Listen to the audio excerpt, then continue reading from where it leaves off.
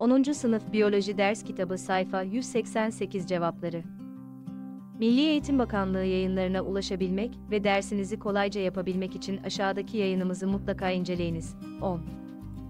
Sınıf Biyoloji Milli Eğitim Bakanlığı Yayınları Ders Kitabı Cevapları Sayfa 1881. Evsel tüketim, doğrudan su ayak izi.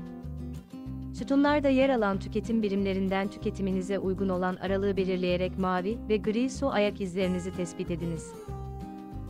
Tespit ettiğiniz değerleri 4 numaralı tabloya yazınız. Cevap, bu etkinliği sizler yapmalısınız. İkinci gıda tüketimi, dolaylı su ayak izi. Sütunlarda yer alan tüketim birimlerinden tüketiminize uygun olan aralığı belirleyerek yeşil, mavi ve gri su ayak izlerinizi tespit ediniz. Tespit ettiğiniz değerleri 4 numaralı tabloya yazınız. Cevap, bu etkinliği sizler yapmalısınız. 10. Sınıf Milli Eğitim Bakanlığı Yayınları Biyoloji Ders Kitabı sayfa 188 cevabı.